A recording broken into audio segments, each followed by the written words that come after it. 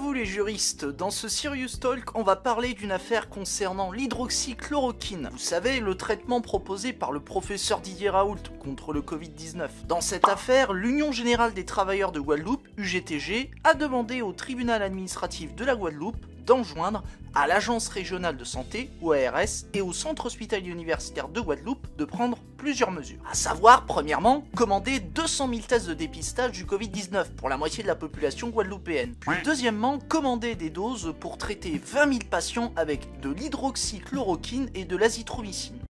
Alors, le tribunal administratif a donné raison à l'UGTG dans un premier temps. Cependant, le CHU de la Guadeloupe ne s'est pas laissé faire et a saisi le Conseil d'État pour faire annuler la décision du tribunal administratif. Et à titre liminaire, dans son analyse, le Conseil d'État nous fait un rappel de la réglementation sur l'hydroxychloroquine. Tout d'abord, il reconnaît que le Haut Conseil de la Santé publique a rendu un avis sur l'étude du professeur Raoult concernant l'hydroxychloroquine. Dans cet avis, le Conseil estime qu'il faut que cette étude soit considérée avec prudence à cause de ses faiblesses méthodologiques et qu'il faut poursuivre les recherches cliniques autour de l'hydroxychloroquine. Le Conseil d'État poursuit en rappelant qu'un essai clinique européen Discovery va tester l'efficacité et la sécurité de 5 molécules dont l'hydroxychloroquine sur 3200 patients. Ensuite, il remarque que le Premier ministre a autorisé par décret la prescription, la dispensation et l'administration de l'hydroxychloroquine à des patients atteints de Covid-19. Selon ce même décret, ces prescriptions interviennent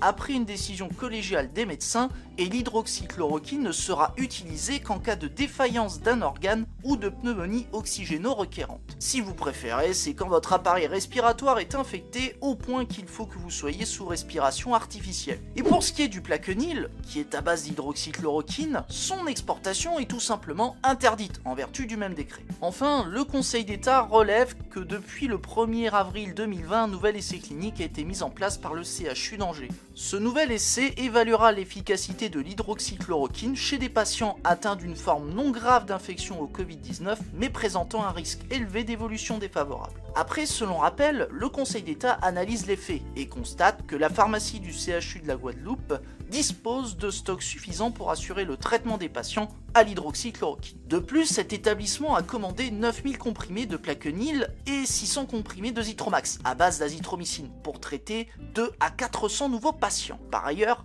l'Agence régionale de santé de la Guadeloupe a recensé les stocks des grossistes et répartiteurs et les a alertés sur le cadre de l'emploi de ces médicaments pour le traitement. De plus, l'agence a apporté une aide logistique aux établissements de santé pour que les médicaments puissent être livrés dans des délais raisonnables. Ainsi, au vu des mesures prises pour un nombre limité de patients bénéficiant du traitement à l'hydroxychloroquine, et sachant que plusieurs autres molécules font l'objet d'essais cliniques, le Conseil d'État considère que le CHU et l'ARS ne sont pas tenus de commander des doses pour le traitement de 20 000 patients à l'hydroxychloroquine et à l'azithromycine.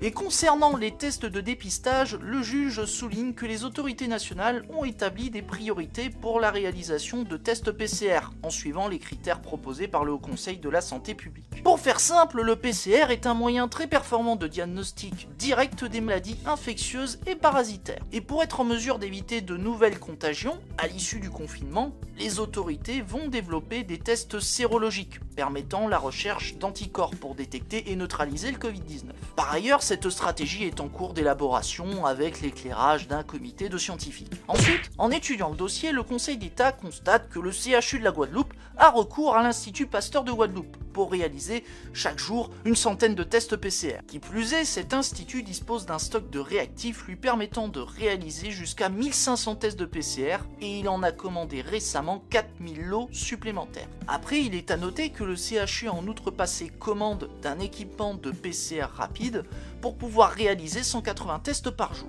Enfin, le CHU de Guadeloupe, l'Institut Pasteur de Guadeloupe et le centre hospitalier Maurice Selbonne ont passé commande de 200 tests sérologiques chacun pour en évaluer la fiabilité. Dès lors, même si toutes ces commandes ne couvrent pas les besoins à venir de l'ensemble de la population guadeloupéenne, le Conseil d'État estime qu'en matière de dépistage, le centre hospitalier universitaire et l'agence régionale de santé ne sont pas tenus de réaliser une commande de 200 000 tests de dépistage. Conclusion, le CHU et l'ARS de Guadeloupe n'ont fait preuve d'aucune carence et n'ont pas porté atteinte au droit à la vie des Guadeloupéens.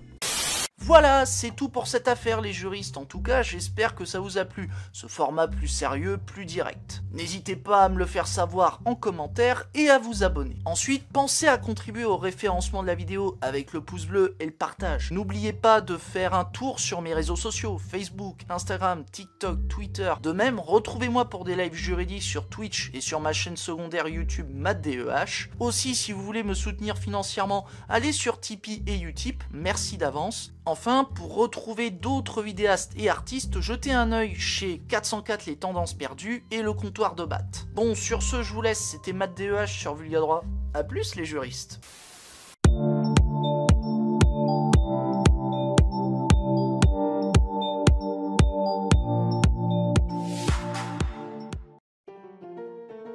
Deuxièmement, commander des doses pour putain.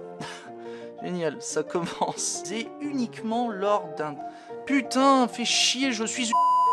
Pardon. Place par le CHU d'Angers, par le CHU d'Angers. CHU d'Angers. Désolé. Et concernant les tests de dépistage, le conseil juge ta mère, il juge ton père.